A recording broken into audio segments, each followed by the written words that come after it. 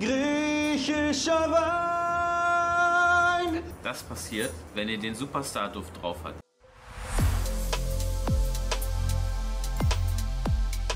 Ähm, so, dann schauen wir mal vielleicht ins nächste Video rein. Und zwar äh, 10 unfassbare Superstar-Düfte. Äh, wir alle zusammen, wir sind Superstars und ich denke mal, von diesem Video fühle ich mich dann angesprochen. Wir gehen einfach mal rein. Viele Fragen nach Parfum, ich glaube, das passt jetzt. Grüße. Er ist im Übrigen, er hat es geschafft nach Amerika, habe ich schon gesehen. Äh, auf dem deutschen Channel ist, glaube ich, ein Video äh, hochgeladen. So sieht's aus, ne? Dich fantastischer deutscher Zuschauer, Jeremy Fragrance, der Parfum-Typ hier. Wir zeigen dir jetzt, also Das, das, also, also Hobbyjuwelier ist gut und so, aber wenn mich jemand Uhrentyp nennt, das ist in der kürzlichen Vergangenheit äh, tatsächlich der Fall gewesen. Das ist auch eine Bezeichnung, sage ich mal, man kann es eleganter ausdrücken. Ne? Also bist du nicht der Uhrentyp? Genau der bin ich, Leute. wir. Ich liebe dich, Alter. Vielen Dank, dass du meine Videos schaust. Unfassbar geile Parfums zeige ich dir jetzt. Der beste Nischenduft. Hey Leute, bleib mal locker. Jeremy hat einfach gerade was, was Chili-artiges geschnitten und hat sich ins Auge gepackt. Kann passieren. Creed Aventus. Und so habe ich den im Doppelpack. Dieser Duft hat so viele natürliche Inhaltsstoffe, dass Leute im Internet darüber sprechen, ah, wie riecht dieses Badge, wie riecht dieses Badge. Das heißt, wie riecht diese Füllung von 2017, wie ist der Jahrgang von 2013. Und das werde ich heute exzessive hiermit testen. Da gibt es tatsächlich Unterschiede. Der eine ist mehr rauchig, der eine ist mehr fruity. Also, der geilste Nischenduft. Der geilste Date-Duft. Dolce Gabbana The One, Baby. Alter. Schwede, ich krieg da sogar von Männern Komplimente, wenn ich diesen Duft trage. Oder wenn er einfach nur in der Luft liegt. So geil riecht dieses Zeug. Ey, das haben wir schon wieder nicht gemacht. Ich muss mal in der Parfümerie normale Düfte testen, damit ich da mitreden kann. Nummer 8. Dolce Gabbana The One. Ach, Light Blue. Intense. Der beste Ist guter Sommerduft. Du suchst nach okay. einem geilen Sommerduft. Wenn du in Ibiza bist, Alter, und dann trinkst du so einen weißen Sangria mit Nein. geilen Nein. Früchten und so einem Schuss Nein. Wodka drin. Ja, ist Nein. nicht gesund, Nein. aber wusstest du, dass Wodka in gleicher Weise verstoffwechselt wird wie Fructose? Das heißt, die Scheiße aus diesen Fruchtsäften, fast genauso schlimm das Zeug. Nur nach einem Glas Wodka hörst du garantiert erstmal auf, Wodka zu trinken, aber Fruchtsäfte kannst du 10 Liter saufen pro Tag. Also Vorsicht, Baby, dieser Duft riecht wie Ibiza. Und zwar richtig geil, Alter. Und zwar richtig geil, Alter. So, weiter geht's. Der beste Billigduft. Du willst schön billig und gut riechen? Legend Spirit Mont Blanc. Riecht wie Invictus Aqua 2016. Der geilste Teenager-Duft. Yves Saint Laurent Y Eau de Parfum. Baby.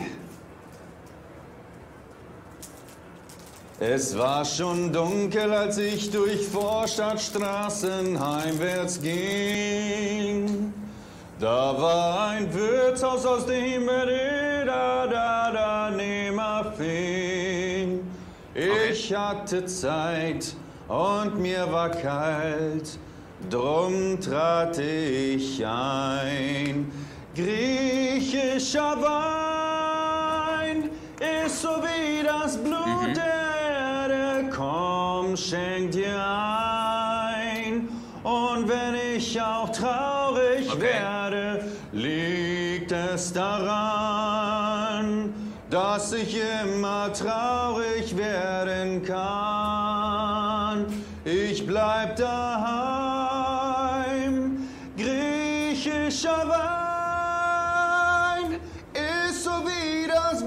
Das passiert, wenn ihr den Superstar-Duft drauf habt. Ich habe darüber nachgedacht, wa- was geht jetzt ab? Aber tatsächlich, das macht Sinn. Das heißt Superstar. Was wird beim Superstar immer gemacht?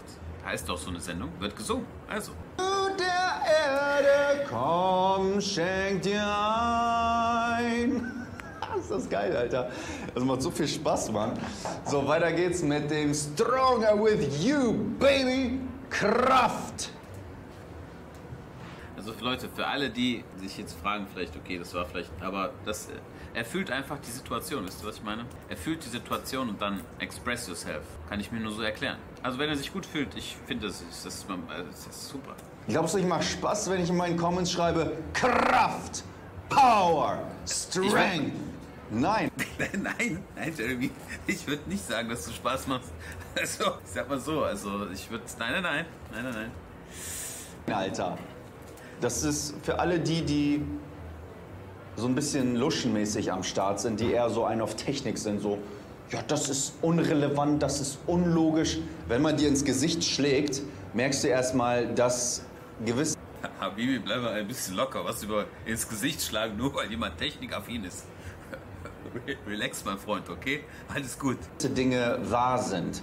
Und zum Beispiel, wenn du Kraft, Power brüllst, dass du dich danach auch geiler fühlst.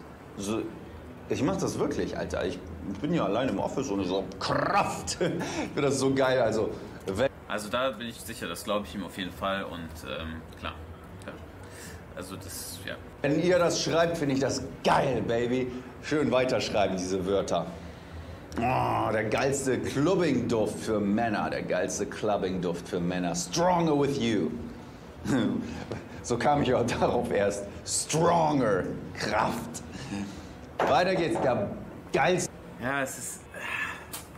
Stellt euch mal vor, stellt euch mal vor, Jeremy käme auf diese Art und Weise zu Mark and Friends. Ende des, äh, Ende des Monats übrigens, Ende des Monats ist es wieder soweit. Mark and Friends, die zweite Folge, wird ein bisschen umgestellt, aber insgesamt, wir haben ganz tolle, ganz tolle Gäste auch am Start. Stellt euch mal vor, Jeremy wäre dabei. Und zwar so, in seinem Mut. Leider können das die wenigsten Leute. Wie er schon gesagt, er ist jetzt da alleine. I don't know, vielleicht wenn man andere Leute, wenn er natürlich genauso drauf wäre, boah, das wäre so krass. Ne? Das wäre das, das wär so krass, das wäre echt heftig.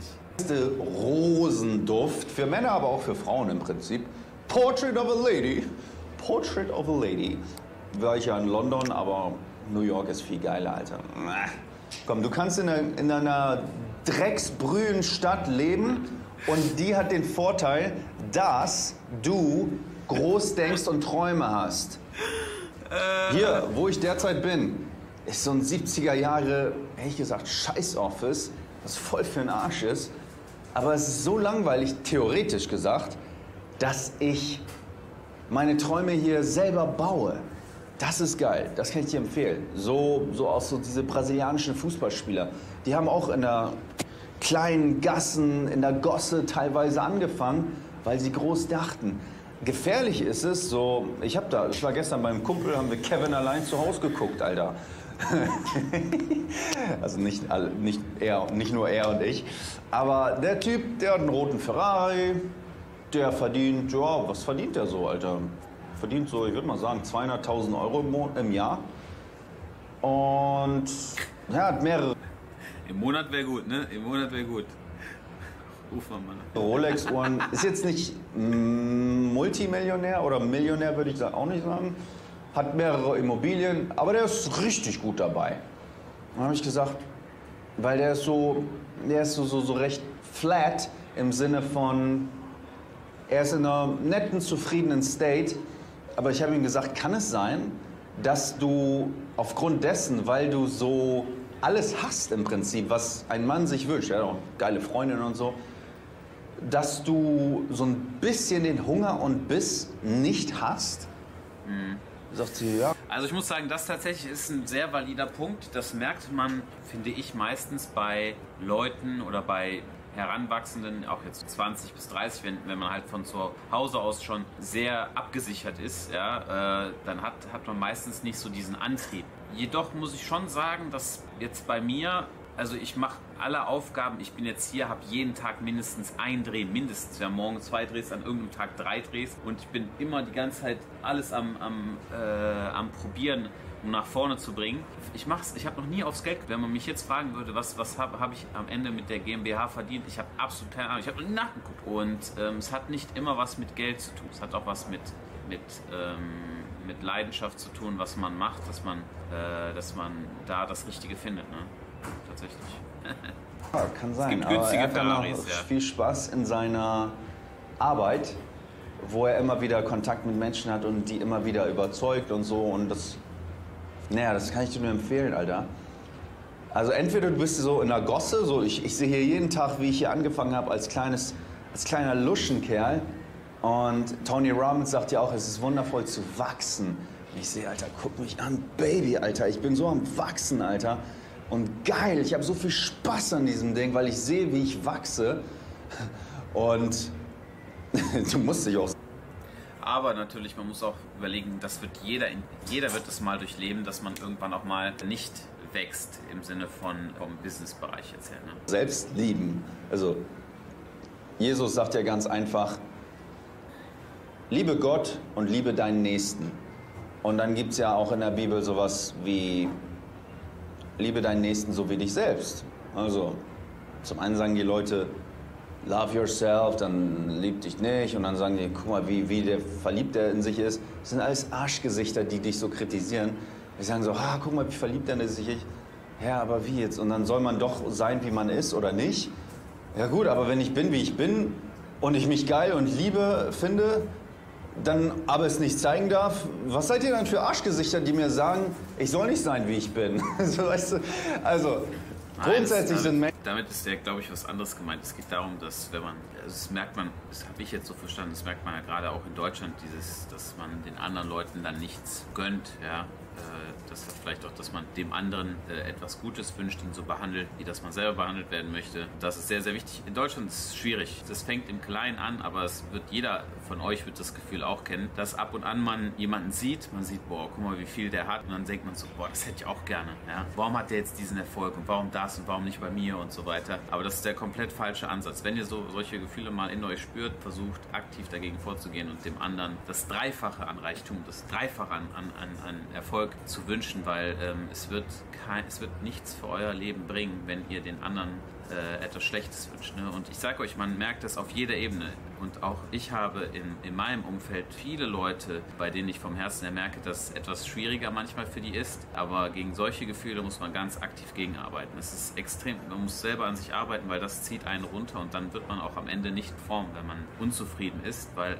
Erfolg oder Nicht-Erfolg liegt in den meisten Fällen nicht in eurer Hand. Also das äh, ist schwer zu akzeptieren, aber ihr könnt 100% geben und wenn es sein soll, wird es passieren. Alles andere, man kann es nicht erzwingen. Ne? Menschen, die.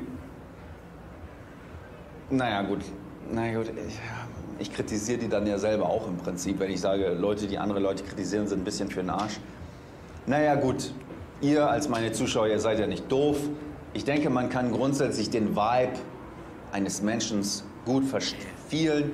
Wenn du den ohne Spaß mit Jeremy möchte ich an einer Stelle wirklich nicht, nicht tauschen. Das meine ich jetzt ganz ohne Wertung. Ich möchte nicht wissen, meine Kommentare, okay, meine Kommentare unter den Videos, jetzt gerade auf die englische Sprache bezogen, kann schon mal aus gewissen Richtungen schon mal sehr anfeindend sein, okay? Ich möchte gar nicht wissen, was Jeremy durchmacht mit den Kommentaren. Also wirklich, das wird das schon, da, da, geht, glaube ich, die Post ab, wirklich siehst, wenn du mit ihm interagierst. Und das ist auch gut so. Wenn wir ganz primitiv sind, und dann geht es auch weiter als hier, das ist der beste Rosenduft. Wenn wir ganz primitiv sind, dann wollen wir einfach umgeben sein von starken, guten Menschen. Deswegen geben Menschen ja auch anderen starken Menschen die Hand. So, hey, geil, High Five. So die Champions springen so mit einer Brust gegeneinander. Hast du dir mal überlegt, warum diese Champions Real Talk, ich glaube, er hat privat ein wirkliches Problem. Guck mal, äh, Flame, Steed, Official, wir können darüber reden so. Am Ende, wir wissen es nicht. Es wird vielleicht so sein, ähnlich wie bei mir, dass man, zum Beispiel ich habe in einem Umfeld zu tun, das da, also das ist relativ kreist irgendwo. Man hat nicht viel mit der Außenwelt zu tun, außer vielleicht jetzt äh, also zum Beispiel ich mit dem Chat, das ist ein Austausch mit anderen Leuten in den Kommentaren und so, aber es ist ja jetzt nicht so, dass wir auf der Straße sind und uns da hinsetzen und dann einen Austausch mit anderen Menschen führen oder ein Ladenlokal haben, wo uns jeder besuchen kann. Ne? Ich glaube schon beim Jeremy, der ist schon relativ vielleicht abgeschottet und unter sich, unter den Leuten, die er kennt. Von daher hält sich das, glaube ich, in Grenzen. Und er hatte auch mal in einem Video gesagt, dass auf der Straße die Leute immer positiv auf ihn zukommen. Und äh, das Thema der selektiven Wahrnehmung wird bei ihm auch der Fall sein. Das heißt, er wird gewisse Sachen halt ausblenden, ja, kann schon sein.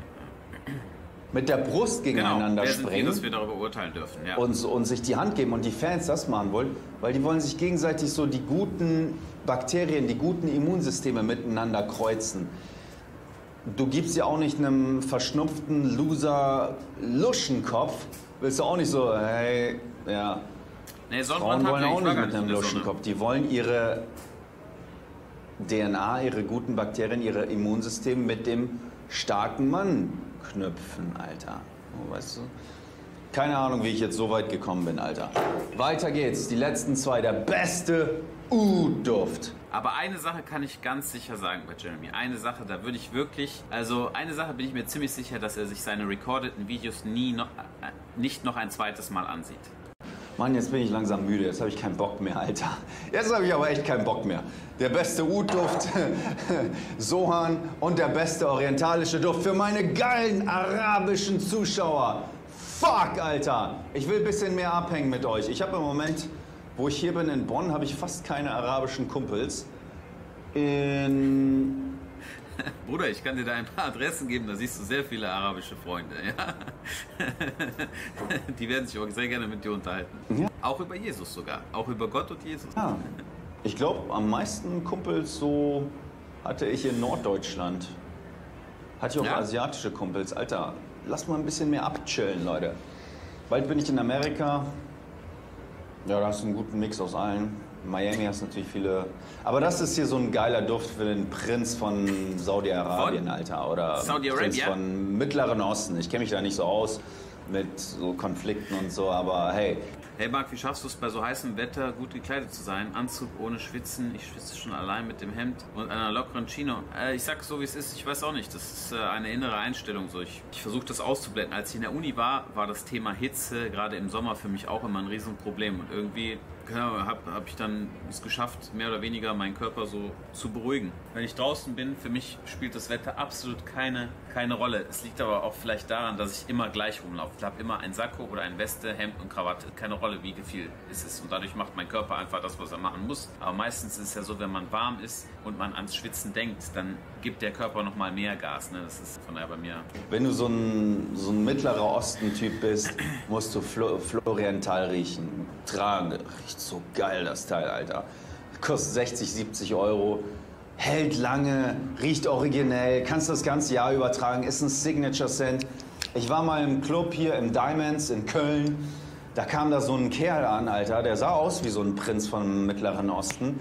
Der kam da, also, der hat eine Show gemacht. Weißt du, was der gemacht hat? Im Diamonds. Nee, war das im Diamonds? Nee, das war im Loom. Das ist der Club dahinter. Also im Diamonds war ich auch, aber im, im Loom hat er das gemacht. Und ich saß so oben. Danke oder dir, stand, keine Ahnung. 200 Bits. Und dann kam der da an, Alter, so im Prinzip gekleidet wie ich, so richtig geiler schwarzer Anzug, ohne Krawatte auf und dann Hemd auf, Alter. Und dann waren da so zwei, drei Typen um den herum, so, so, so geile Typen, die waren alle gepflegt und so. Und alter Schwede. Und dann kam der da rein mit so einem, so so direkt so Champagner und hier diesen brennenden Kerzen so und dann wurde der da hingesetzt. Das war eine Show. Was ich eigentlich sagen, sagen will, wenn er dann noch diesen Duft hinter sich hergezogen hätte, dann hätte ich gesagt, boah, geil, Alter. Aber hat sich dann, glaube ich, herausgestellt, dass der doch nicht so viel Relevanz hat und das, glaube ich, ein bisschen mehr Präsenz hat. Aber weil ich das nicht weiß zu 100 Prozent, werde ich ihn auch nicht namentlich erwähnen. Aber Leute, ich wünsche euch einen schönen Tag. Ich finde euch geil. Jetzt reicht's mir, Mann. Schreibt rein, was ihr für weitere Videos sehen wollt, Leute. Ich liebe dich, Baby. Peace! Ja, in einem Video hat man alles drin. Alles, alles, alles, alles. Wahnsinn, ne? Ich wünsche ihm auf jeden Fall sehr viel Spaß in Amerika und freue mich schon auf die kommenden Videos, die er so äh, raushauen wird. Da wird auf jeden Fall, denke ich, die Post noch abgehen.